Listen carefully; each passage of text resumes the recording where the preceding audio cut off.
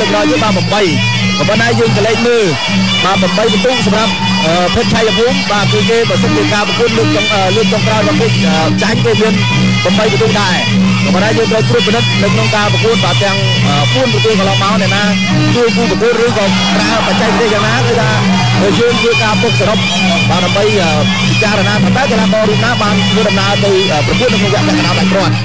ក៏ប៉ុន្តែឥឡូវនេះយើងកុំអាលមើលវែងឆ្ងាយបាទយើងមកមើលការជួបគ្នានៅក្នុងការប្រកួតបាទទឹកជាមួយនៃបាទជំនួសគ្នាលើកទី3បាទសម្រាប់ការប្រកួតពលជុំសន្សំបន្ទុកបាទរវាងកីឡាករទាំងពីរសិនរួមគណៈកីឡាករនៃព្រះរាជាណាចក្រកម្ពុជាមកពីក្លឹបរៀនស្រីខេត្តបន្ទាយមានជ័យរីឯលេខឡៃកីឡាករនៃព្រះរាជាណាចក្រថៃ ក្រោមមួយលុកវែងម្លាយលើកចាប់របស់កីឡាកររួមណាវិញ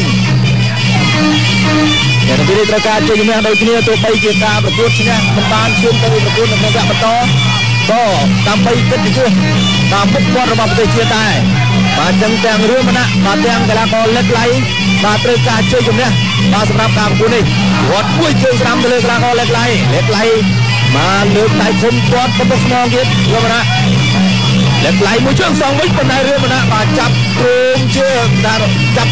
ជើងជើងវិញឡើងទៅម្ដងប៉ុន្តែមិនអ្វីទេគ្រាន់តែបាទប្រាស់ទៅយកដៃច្រត់ទៅដល់ពីមួយផ្លែបាទធាក់ម្នាក់មកយើងដូចឆ្វេងម្ដាយហើយក៏ព្យាយាមរឿងណា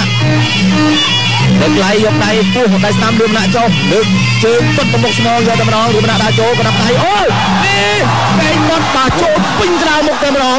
អូ